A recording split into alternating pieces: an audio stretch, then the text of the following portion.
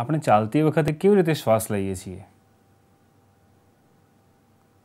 દોડતી વખતે અને દોડ્યા પછી આપણે કેવી રીતે શ્વાસ લઈએ છીએ?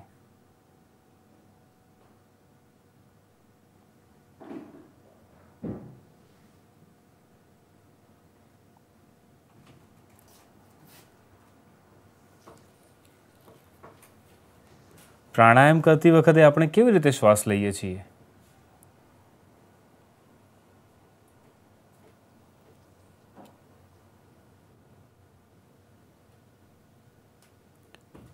સૂતી વખતે શ્વાસ લેવાની પ્રક્રિયા કેવી રીતે થાય છે? શ્વાસોચ્છ્વાસની પ્રક્રિયામાં નાસિકા છિદ્રો શ્વાસનળી ફેફસા, છાતીનું પિંજરું અને ઉરોદર પટલની સંયુક્ત કામગીરી સંકળાયેલી હોય છે. નાસિકા છિદ્ર. આપણે સામાન્ય રીતે નાસિકા છિદ્ર દ્વારા શ્વાસ લઈએ છીએ. શ્વાસ લેવા માટે આપણે મોંનો પણ ઉપયોગ કરીએ છીએ.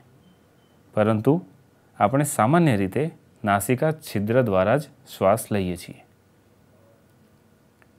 નાસિકા કોટર. શ્વાસમાં લીધેલી હવા નાસિકા છિદ્રોમાં થઈને નાસિકા કોટરોમાં જાય છે. નાસિકા કોટરોમાં આવેલા વાળ અને ચીકણા શ્લેષ્માની મદદથી શ્વાસમાં લીધેલી હવા ગળાઈ જાય છે. શ્વાસનળી. શ્વાસમાં લીધેલી હવા નાસિકા કોટરોમાં થઈને શ્વાસનળીમાંથી પસાર થાય છે. શ્વાસનળીમાં સી આકારના કુર્ચા જેવી રચના આવેલી હોય છે, જેની મદદથી શ્વાસનળી ખુલ્લી રહે છે. નાસિકા કોટર અને શ્વાસનળીને જોડતા ભાગને કંઠનળી કહે છે. ફેફસા. મનુષ્યમાં એક જોડ ફેફસા ઉરસ ગુહામાં છાતીના પિંજરામાં રક્ષાયેલા હોય છે. ઉરસ ગુહા.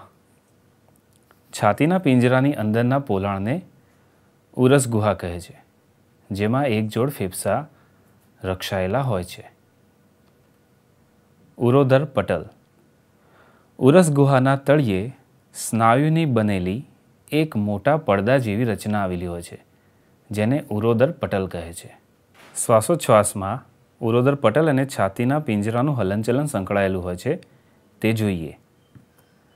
શ્વાસ દરમિયાન પાંસળી ઉપર તરફ અને બહાર તરફ નીકળે છે અને ઉરોદર પટલ નીચે જાય છે. આથી ઉરસ ગુહાના અવકાશમાં વધારો થાય છે. ઉચ્છ્વાસ દરમિયાન પાંસળીઓ નીચેની તરફ અને અંદરની તરફ જાય છે અને ઉરોદર પટલ પોતાના મૂળ સ્થાન સુધી ઉપરની તરફ ખસે છે. જેથી ઉરસ ગુહાનું કદ ઘટે છે. અહીં જોઈ શકાય છે કે શ્વાસ દરમિયાન ઉરસ ગુહાનું કદ વધવાથી છાતીનું કદ વધે છે અને ઉચ્છ્વાસ દરમિયાન છાતીનું કદ ઘટે છે. 대한테 주고.